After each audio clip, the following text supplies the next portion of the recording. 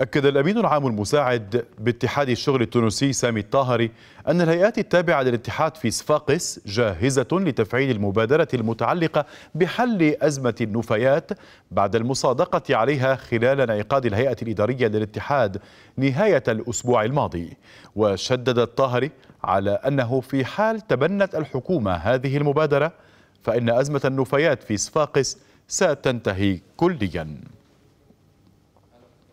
ومعنا من تونس الصحفي في جريدة الشعب صبري الزغيدي أستاذ صبري ما المطلوب لتبني هذه الخطة الإنقاذية ووقف هذه المأساة أو الأزمة المستفحلة في صفاقس؟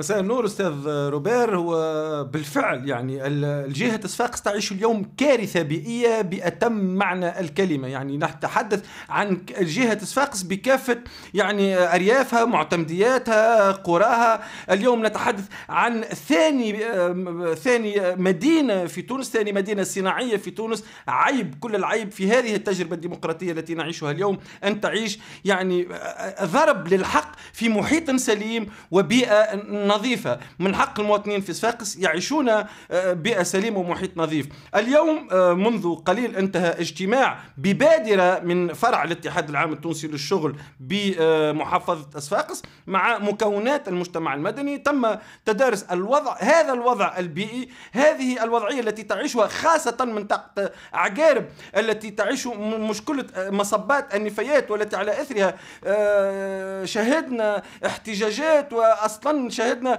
يعني قتل أحد المواطنين أو المناضلين البيئيين في هذه المنطقة بسبب اولا تراكمات عدة متسببة فيها الحكومات المتعاقبة التي صمتت على هذه الكارثة البيئية وإلى حد اليوم لم تشهد الجهة يعني تعاطي إيجابي مع السلطة التنفيذية اليوم أو ما ما ما ما الذي يقوم آه، بالنسبة للسلطة التونسية لا, لا, لا ليس له أي تعاطي إيجابي. إلى حد اليوم آه، المكونات المجتمع المدني وعلى رأسها المنظمة الشاغله ولكن أيضا لوحت ما ما ما, ما اسميته أستاذ صبري بأنه تعاطي غير إيجابي.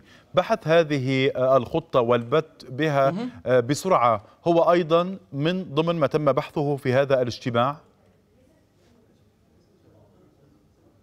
بالضبط. آه، مكونات المجتمع المدني ومعهم الاتحاد العام التونسي للشغل قدموا بدائل.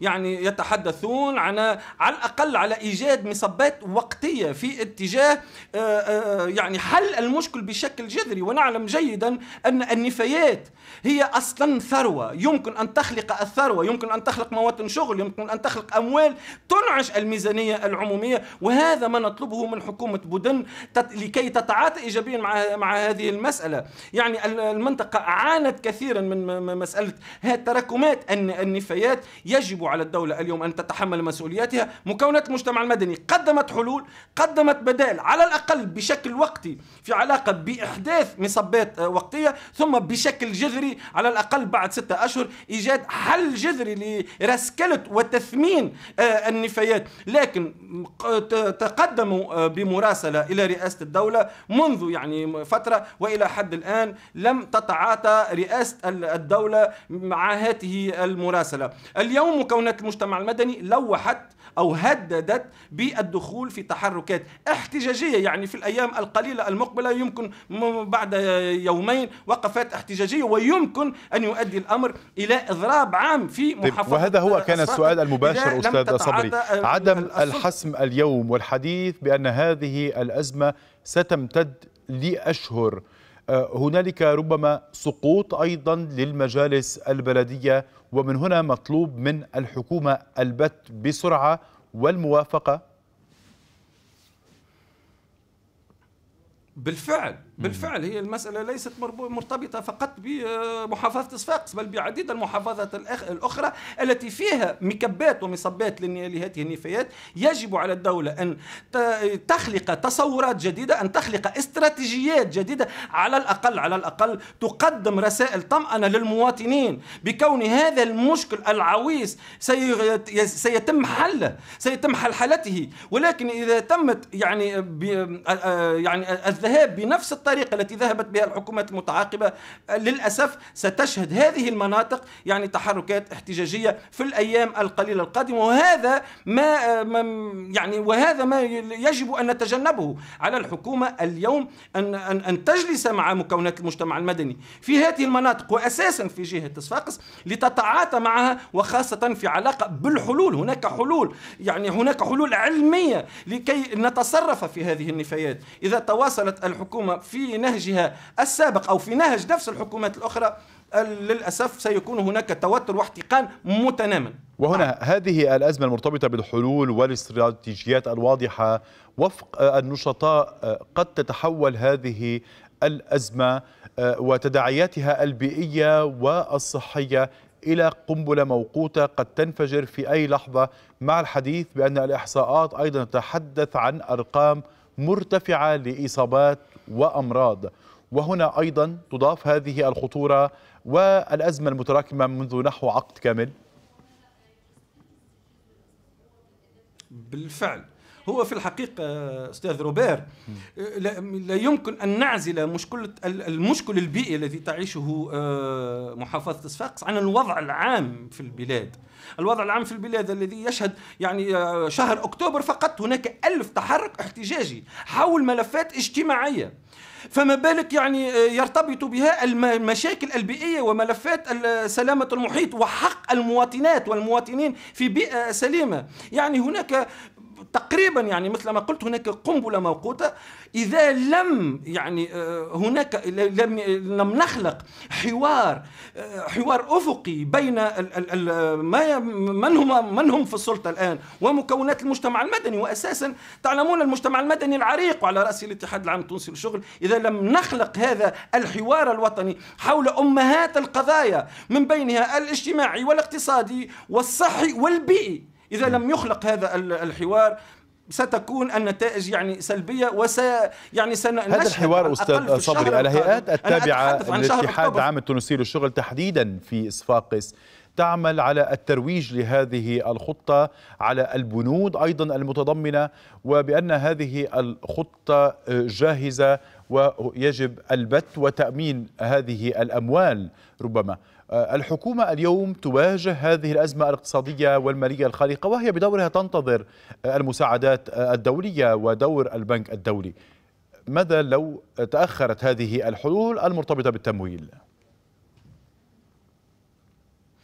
على الأقل على الأقل نحن نتفهم نتفهم الوضع الاقتصادي. ومعلوم أن الاتحاد العام التونسي للشغل كان مع حراك 25 جويلية الذي قاده رئيس الدولة ولكن لم يقدم سكن على بياض في كل الحالات وكانت له نقودات حول الوضع الاقتصادي والاجتماعي والحقوق الاقتصادية والاجتماعية للشعب آه، التونسي. ولكن نعتبر أن 25 جويلية يمكن أن نؤسس عليه مسار تصحيحي ولكن بشرط يجب أن تتوفر يعني مقاربة تشاركية توافقية مقاربة توافقية حول أمهات القضايا العالقة. اليوم عندما لا تعطي للتونسيات والتونسيين حقهم في رغيف الخبز حقهم في التشغيل حقهم الآن نتحدث يعني على على الحق في البيئة والحق في المحيط السليم يجب على الأقل أن تعطي السلطة القائمة. رسائل طمأنة وتتشارك مع النخبة النخبة التي فازت بجائزة نوبل للسلام وعلى رأسها وعلى رأسها الاتحاد العام التونسي للشغل. إذا غاب ذلك سيكون هناك الفوضى ستكون سيكون هناك الشارع ولا نعرف مآلات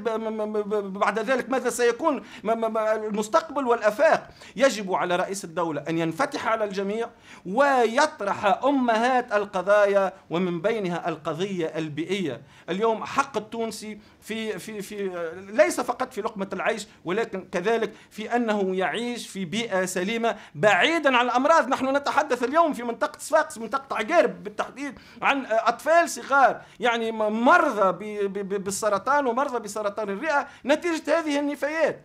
إذا لم نجد لم نجد الحلول بشكل توافقي ووفق مقاربة تشاركية سنذهب إلى المجهول. الكرة الآن لدى رئيس الدولة حتى نحفظ للتونسيات والتونسيين حقوقهم الكونية أصلا. رئيس الدولة يقول أنا مع الحق في البيئة. رئيس الدولة يقول أنا مع الحق في رغيف الخبز. رئيس الدولة يقول أنا مع الحق الاقتصادي والاجتماعي والحق في, في بيئة سليمة. إذا افعل ذلك. ونحن معك. إذا لم تفعل ذلك ستجد من معك هم من يكون ضدك في أول فرصة. لا ليس نعم. مع نعم. حركة النهضة نعم. نحن ضد حركة النهضة وضد العودة إلى إلى نعم. برلمان إلى نعم. برلمان التكفير والى إلى البرلمان الذي فكك الدولة ولكن نحن مع أعتذر مسار منك ولكن انتهى وقتنا الدولة، وفق- صبري الزغيدي الصحفي في جريدة الشعب كنت معنا مباشرة من استديوهاتنا في